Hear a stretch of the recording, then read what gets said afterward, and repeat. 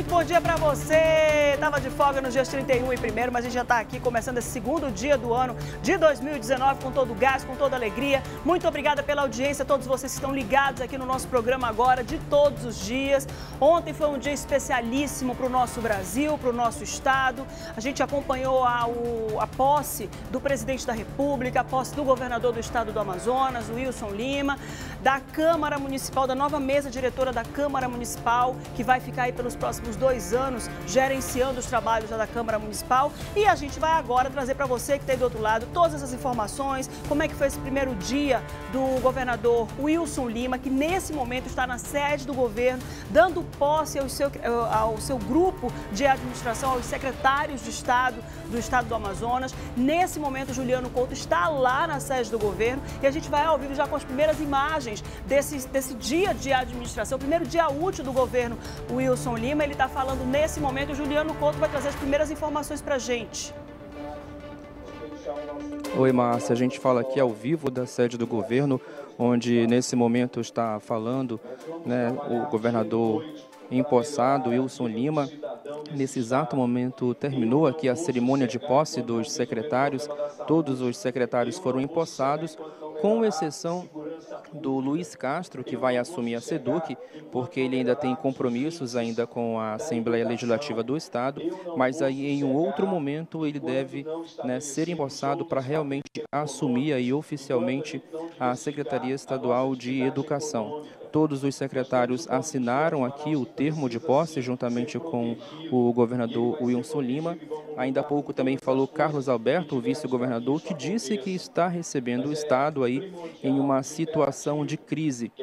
Nesse exato momento, Wilson Lima está falando sobre os problemas enfrentados no interior do Estado. Daqui a pouco ele deve conceder aí uma entrevista coletiva para que ele possa falar um pouco sobre os dados que foram recolhidos aí durante essa fase de transição do governo amazonino Mendes para o novo governo agora que assume o estado do Amazonas. Nesse exato momento, ele está falando sobre algumas providências que serão tomadas já a partir de amanhã. Hoje é oficialmente o dia em que ele começa os trabalhos aqui na sede do governo. Hoje cedo ele esteve recebendo né, as pessoas do antigo governo, fazendo esse trabalho de transição. Visitou setores, inclusive, aqui da sede do governo. Tinha uma equipe já preparada para receber o governador, para mostrar como cada setor realmente funciona. E nesse exato momento ele está fazendo aqui o discurso de encerramento dessa cerimônia de posse, onde foram empossados aí os secretários estaduais que vão assumir já a partir de amanhã. Márcia. Muito obrigada, Juliano Couto. Você que tem doutorado acompanhando as primeiras imagens do governador empossado, Wilson Lima. Lembrando que esse é o momento em que ele recebeu todos os relatórios das equipes de transição que fizeram o levantamento dessas informações sobre a atual, a atual situação do governo do Estado, essencialmente a Secretaria de Saúde, que é a maior secretaria do governo, na qual foi assumida pelo vice-governador. Para você ter uma ideia da grandiosidade dessa secretaria, o vice-governador Carlos Almeida foi quem assumiu a secretaria Secretaria de Estado como secretário.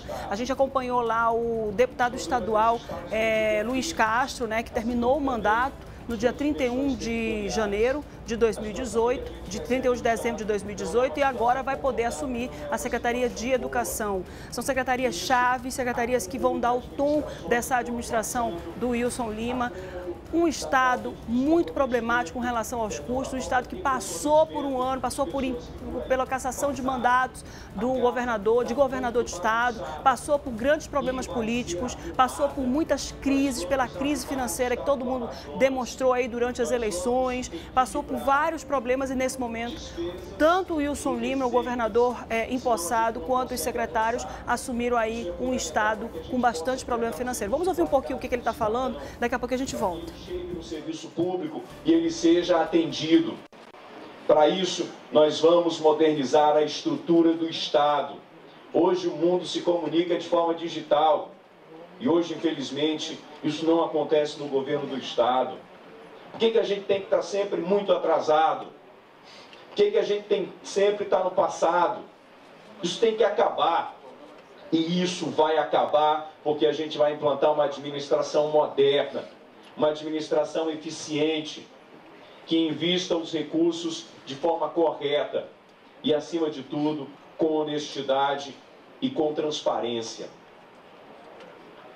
No discurso de ontem, durante a minha posse, eu falei sobre a foto do governador nas, nas repartições públicas. Não haverá foto do governador nas repartições públicas. Lá estarão fotos, as fotos de homens e de mulheres que ajudam com seu esforço a construir esse Estado, do cidadão lá do interior, daquele que está na agricultura, daquele que está na pesca, daquele que está lá na Manaus Moderna, que está na Panaí, daquele que está trabalhando, daquele cidadão que está de sol a sol, garantindo o sustento da sua família e espera que o Estado faça o mínimo por ele. Por que, que eu vou fazer isso? Para que todas as vezes que vocês, secretários, entrem no seu local de trabalho, lembrem que não é para mim que vocês estão trabalhando. Vocês estão trabalhando para aquele cidadão ali. Vocês estão trabalhando para o povo.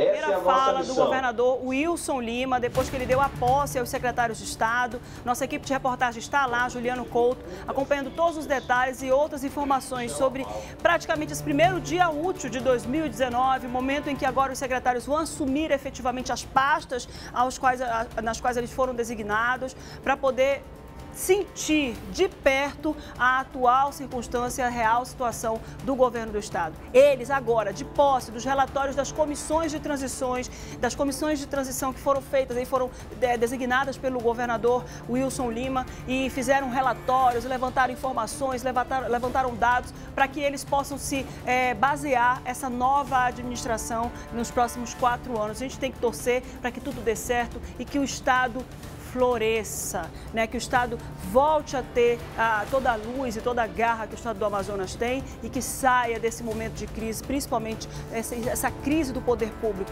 O sistema privado, a, a, quando a gente fala de empresas, quando a gente fala do polo industrial, de tudo isso, a gente sabe que todo o Brasil e, consequentemente, o Amazonas está vindo já saindo de uma crise nacional. Mas a gente precisa agora tirar essa crise política, essa crise política que o Amazonas vem passando passou em 2017, início de 2018, com uma eleição é, que, que veio aí assoberbada e a gente traz aí a, essas mudanças, né, todas assumindo agora corpo e esperamos aí que os próximos quatro anos sejam anos de muitas vitórias para todos os amazonenses. A direção está me dizendo agora, a Vanessa está me dizendo agora que tem a foto dos secretários. Vamos dar uma olhadinha na foto dos secretários, só para que você se situe aí é, efetivamente de quem foi que assumiu é, o, as pastas que vão gerir gerir o nosso Estado nos próximos quatro anos. Coloca para mim aí essa tela, não sei qual é a ordem que está, Vanessa. Vai colocando que a gente vai falando aqui.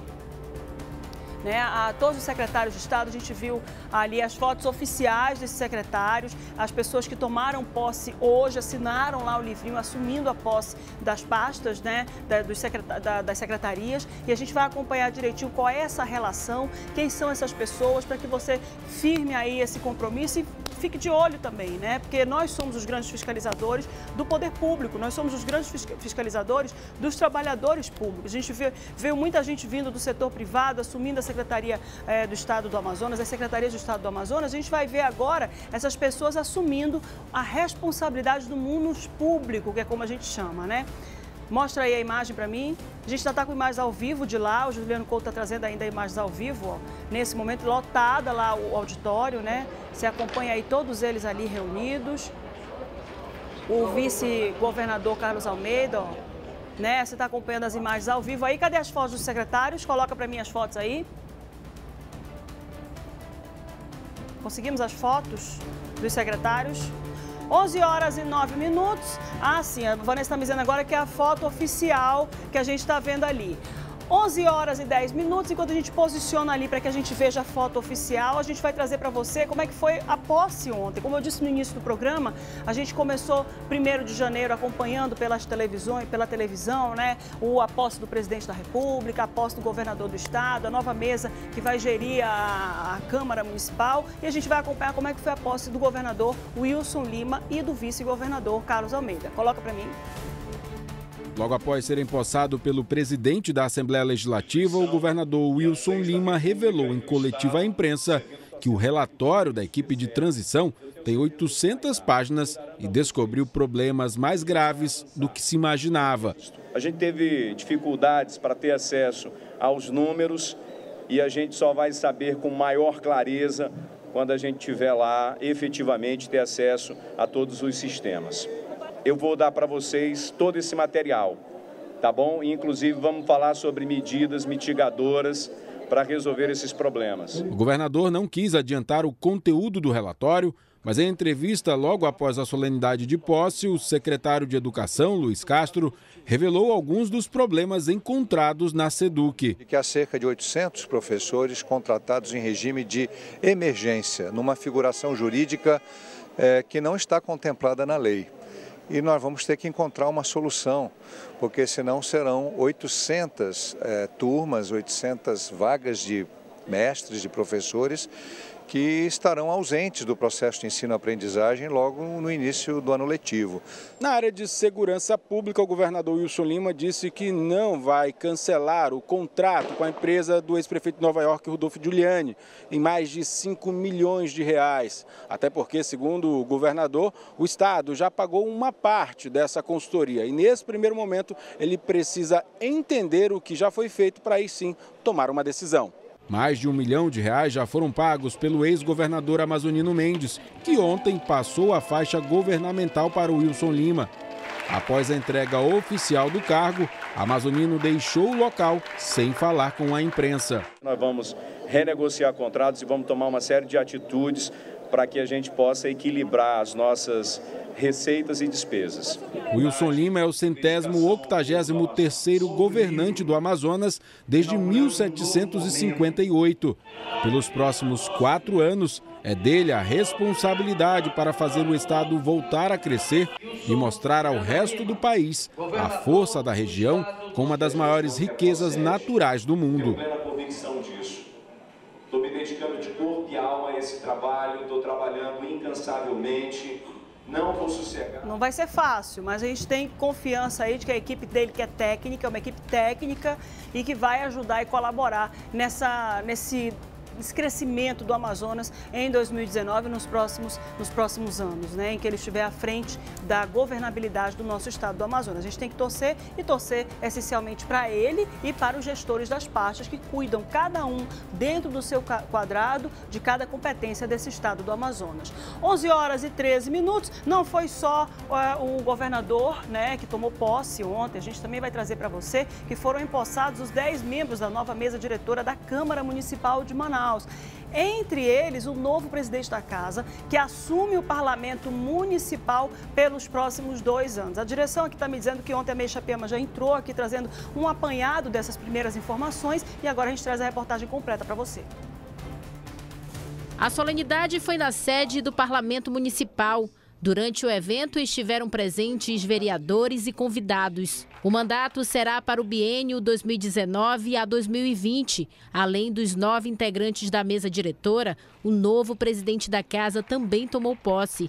É o vereador Joelson Silva. As expectativas são as melhores possíveis, mas acima de tudo nós temos um desafio, é esse que eu quero encarar que é o desafio de aproximar o vereador da comunidade, o vereador da sociedade manauara, o vereador do munícipe. A nova mesa diretora foi eleita no dia 3 de dezembro de 2018. Com uma votação inédita, os 10 membros foram eleitos por unanimidade dos votos. A mesa foi composta por três vice-presidentes, secretário-geral, primeiro, segundo e terceiro secretário, corregedor e ouvidor. O primeiro secretário falou da importância da mesa diretora como forma para tentar aproximar a população amazonense. A expectativa ela é tão grande quanto a responsabilidade que nós temos responsabilidade de fazer a Câmara Municipal de Manaus voltar a ter o protagonismo na cidade de Manaus, de ser a casa das grandes discussões sobre os problemas de Manaus e buscar as soluções. Um dos momentos mais importantes da solenidade foi a passagem de cargo do ex-presidente da casa, Wilker Barreto,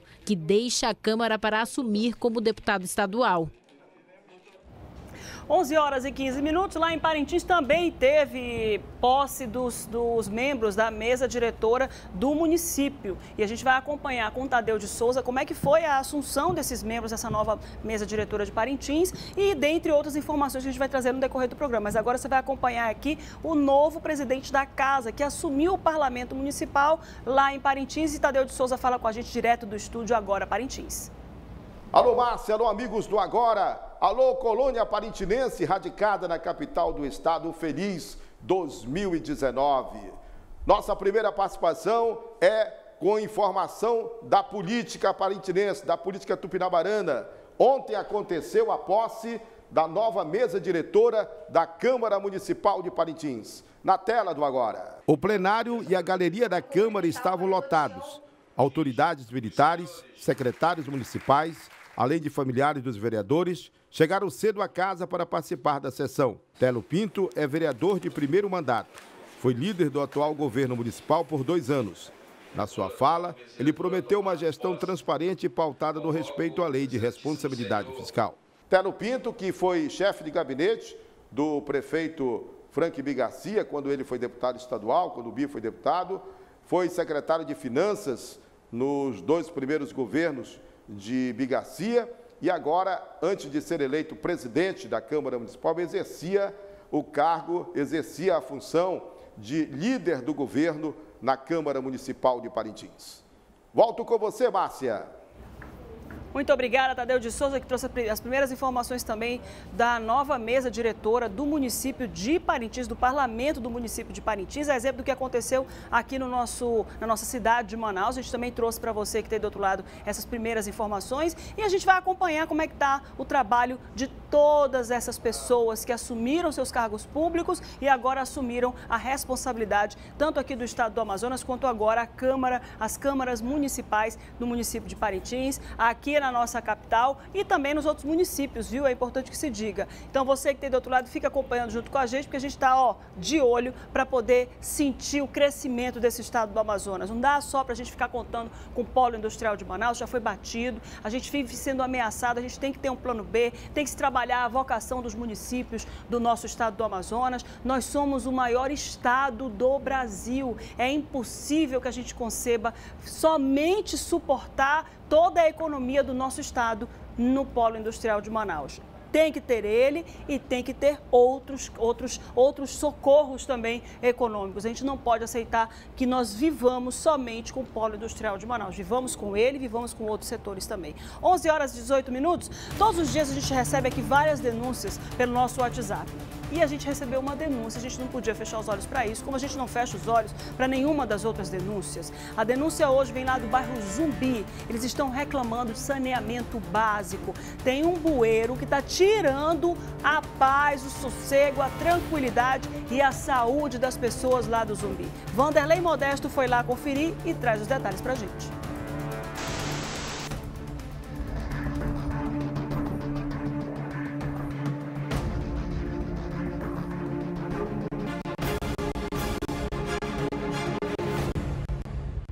Nós estamos na rua São João, o bairro é Zumbi. Esse bairro tem 35 anos. A população é de aproximadamente 40 mil habitantes. Eu estou precisamente no final da rua São João. E aqui, segundo informações dos moradores, toda vez que chove, alaga a maioria das casas. A água fica por aqui, ó. Aqui, ó. Do meu lado direito, lama e água servida escorrendo à vontade. Do meu lado esquerdo, lama e água empoçada. Olha aqui, ó. A frente da casa dessa senhora. Qual é o seu nome? Natalina.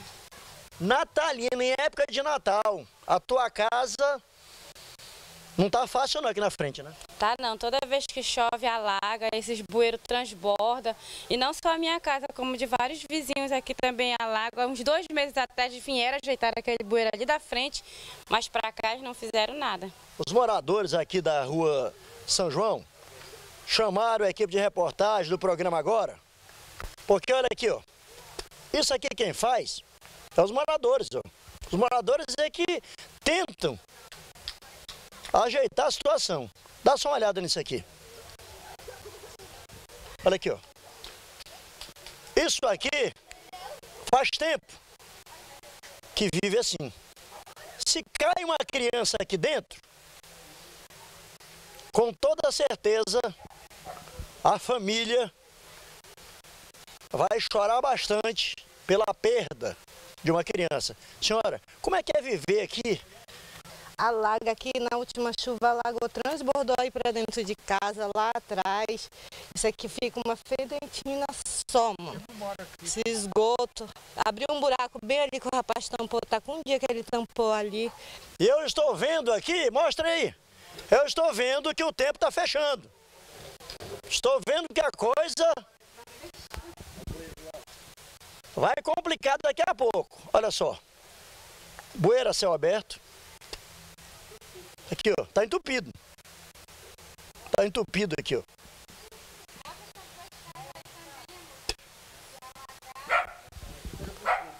Senhor Luiz, o senhor foi quem solicitou a equipe de reportagem, né? Sim, foi eu mesmo. Quer dizer que essas casas aqui foram tudo pro fundo? Foi, essas daí foram tudo pro fundo, desde aqui. Tudo alagou na última chuvada aí. É difícil. Complicado. É complicado. Mas aí, vocês já entraram em contato com a Secretaria Municipal de Infraestrutura? Já entramos em contato, mas até agora nada.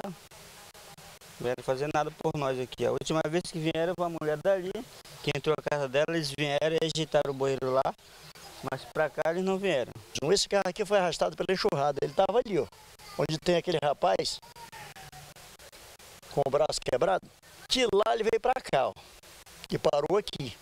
Devido à última chuva que caiu aqui no bairro do Zumbi. Um bairro querido, um bairro de pessoas hospitaleiras, mas a situação aqui não tá fácil. Como é o seu nome? Sérgio. Sérgio.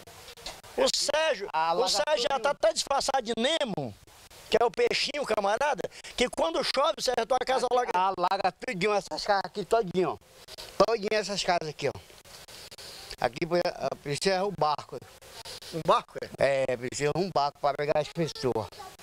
Deixa eu dar uma olhada aqui, olha só. A casa do Sérgio era aqui. Olha a altura que está a casa do Sérgio agora. Olha o piso. Vai aumentar mais Hã? Vai aumentar mais? É. Se não aumentar, vai pro fundo. Vai mesmo. Vejam só esse vídeo que os moradores gravaram na hora da chuva. Olha aí quando chove. Rua São João, Zumbi 2. Nem tá chovendo forte. Olha aí, ó. 11 horas e 23 minutos, você que acompanhou essa imagem viu que a gente mostrou essa questão do bueiro na semana passada. Foi denúncia que nós recebemos pelo WhatsApp, o nosso WhatsApp, esse número que está aí na tela, que eu sempre peço para você enviar a sua denúncia, a sua reclamação. Denúncia que nós recebemos pelo WhatsApp e pedimos para que o Vanderlei Modesto fosse lá conferir toda essa problemática que os moradores do Zumbi enfrentam todos os dias. Como se não bastasse aquele bueiro transbordando daquela potência que você viu ali, naquela, aquele volume de água, né, transbordando ali na rua do, do Zumbi, a gente também acompanha um bueiro completamente aberto.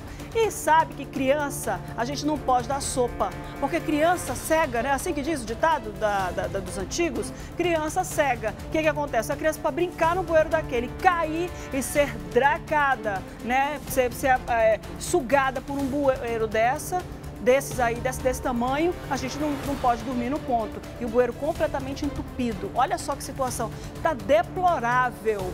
Deplorável essa situação. A gente tem nota da secretaria nós temos nota da prefeitura? Nós não temos por causa do feriado, né? Vamos tentar recuperar para a gente ter, trazer uma resposta e um posicionamento para saber quanto vai ser finalizado, ser feita uma obra. Essa, essa, imagem aqui, volta um pouquinho, por favor, Jaziel. Essa imagem me chama muita atenção, porque nas andanças que a gente tem, nas andanças que a gente tem aí, a gente vê que as pessoas usam esse recurso de fazer esse batente na porta para poder impedir que a água entre. É o volume da água, a água chega até aí, ó.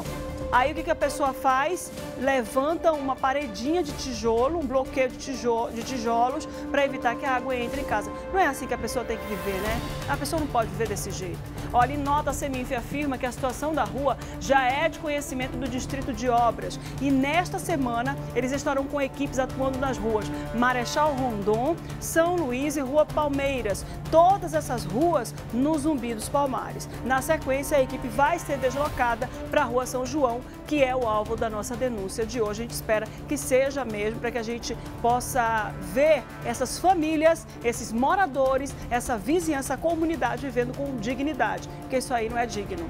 11 horas e 25 minutos. Gente, a gente falou ainda há pouco aqui sobre esse bueiro e o cuidado que a gente precisa ter com as crianças para evitar que acidentes e acidentes gravíssimos aconteçam. A exemplo do que a gente já trouxe em outros momentos aqui no nosso programa da comunidade, crianças que foram sugadas por bueiros e infelizmente acabaram morrendo afogadas. E, e o corpo foi encontrado no Igarapé do Mindu e em outros igarapés que entrecortam a nossa cidade. Infelizmente, a gente vai trazer uma notícia muito triste que, graças a Deus, teve um, um, um saldo é, positivo, né? Porque são duas crianças crianças que estavam dentro de uma casa na Zona Norte e não morreram, não tiveram ferimentos graves, mas a casa começou a pegar fogo com as duas crianças gêmeas, duas crianças gêmeas de três anos que estavam sozinhas em casa, sozinhas. Elas foram socorridas por vizinhos. Vamos ver como é que foi isso na reportagem de Valdir Adriano. Os móveis queimados ficaram espalhados por esta rua do Novo Aleixo, na zona norte de Manaus. Eu achava que era brincadeira, ele me chamando, né, que a casa estava pegando fogo, pegando fogo. Quando chegou na hora que eu me alertei direito, que eu saí, era a casa pegando fogo mesmo, eu achando que era brincadeira dele. Foi no final da manhã desta terça-feira. A casa pegou fogo depois de um curto-circuito no ar-condicionado.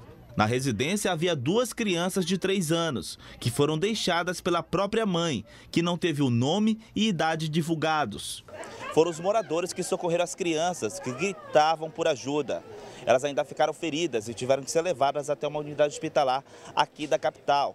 Populares disseram que não é a primeira vez que os gêmeos ficam sozinhos, trancados em casa. Quando ela sai, ficam os três, que fica a maior e os dois menor. Foram os vizinhos que apagaram as chamas. A mãe dos meninos não foi localizada pela polícia até o final da tarde. Ela deve ser indiciada por abandono de incapaz, se o caso for registrado por alguma testemunha. Minha gente, que perigo! Que que é isso? Que situação é essa que a gente olha e não acredita? A gente não quer acreditar que uma mãe deixou duas dois irmãos, são dois meninos, dois irmãos gêmeos de três aninhos, sozinhos em casa sozinhos em casa. Tem um outro irmão maior, o Valdir Adriano não divulgou a idade do outro irmão, mas não interessa. Não cabe ao irmão, não compete ao irmão a guarda e, a, e, o cuidado dos irmãos menores. Cabe aos pais. Não se pode atribuir essa responsabilidade a uma pessoa que ainda é criança, que é menor de idade. Agora, vejam vocês a gravidade da situação, como se não bastasse matar os próprios filhos, que é isso que podia ter acontecido, podia ter acontecido isso, os próprios filhos podiam morrer queimados queimados dentro dessa casa, ainda ia causar um outro incêndio. A exemplo que a gente acabou de acompanhar com essa tragédia do incêndio de educandos. Que é isso? Duas, três crianças dentro de casa. Parece que uma das crianças, a maior, saiu de casa, deixou os filhos sozinhos, deixou os irmãos sozinhos. Porque ele deve pensar, se a mamãe sair e deixa a gente sozinho, não vai ter problema. Eu posso sair, que os dois ficam sozinhos também aqui em casa, vou deixar aqui os brinquedinhos com eles e eles ficam aqui sozinhos em casa. Que responsabilidade. É inacreditável. É inacreditável a gente ver uma situação como esta. É inacreditável. O que me causa mais estranheza, o que me causa mais admiração é que os vizinhos já viram essa mulher fazendo isso outras vezes. Cadê o conselho tutelar? Cadê os órgãos de proteção à criança e ao adolescente? Eles precisam ser avisados desse ato irresponsável dessa mulher antes que o pior aconteça, antes que essas crianças acabam morrendo, uma brincando com a outra, abriu a, a, a boca do, do, do gás ali, né, a boca do fogão, deixou o gás escorrendo ali, é, saindo, de, pegou um fósforo, brincou com coisa que não era para brincar, brincando com faca, brincando com instrumentos perfuro cortantes. Quer dizer, Não, inacreditável. Ina... A Vanessa está aqui me perguntando no meu ouvido, né, no meu pensamento, por meio do ponto, onde é que essa mãe estava. Eu ouvi algumas reportagens, algumas outras reportagens, que ela estava na Ponta Negra. Estava lá na praia da Ponta Negra. Saiu para passear e deixou os filhos em casa. Ouvi. Não sei se essa informação procede, mas independente de onde quer que ela estivesse, ela não tinha que deixar os filhos sozinhos em casa ou que levasse as três crianças, né? Fosse para Ponta Negra. O que mais a gente viu ontem foi famílias lá na Ponta Negra aproveitando o último dia de feriado, o último dia de folga, mas que levasse os filhos junto com ela, né? e não deixasse as crianças trancadas dentro de casa com o ar-condicionado ligado e o ar-condicionado estava funcionando, sabe Deus há quanto tempo, pegou fogo. Óbvio que ia pegar fogo. 11 horas e 30 minutos, a gente vai para o intervalo. A gente vai trazer daqui a pouquinho que dois homens ficaram feridos e um terceiro morreu depois de ser esfaqueado. O motivo? Briga de vizinho. Foi lá na Zona Oeste, no São Raimundo. A gente volta já já.